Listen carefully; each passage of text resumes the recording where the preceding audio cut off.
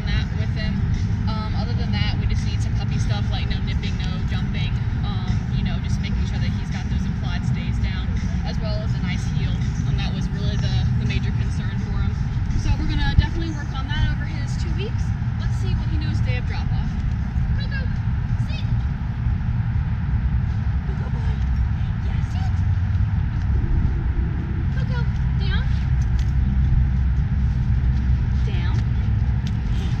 Good.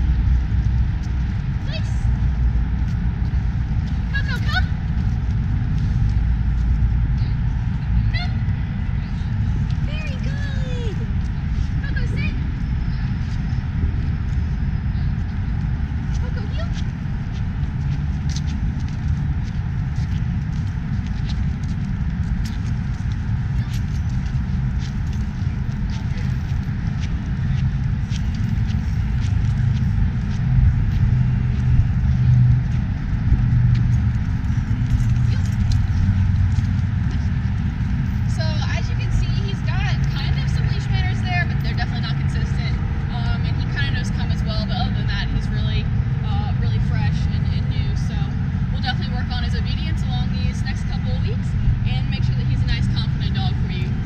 Go, go! Yeah! That's a good boy.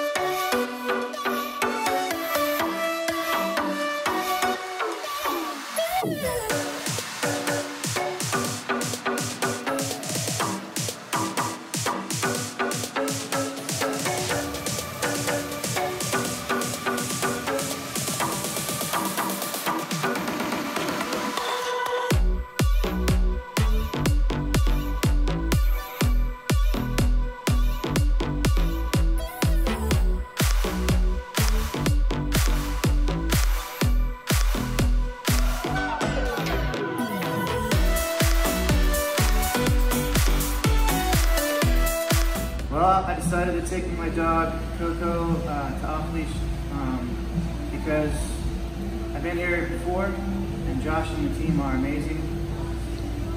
Uh, so Koko had a lot to learn. He was here for a little longer than normal because I was out to sea, and could be more pleased with the results. He's a, he's a beautiful dog, and uh, you know this place gives him the tools to to reach his full potential, and I couldn't be happier. So it's awesome.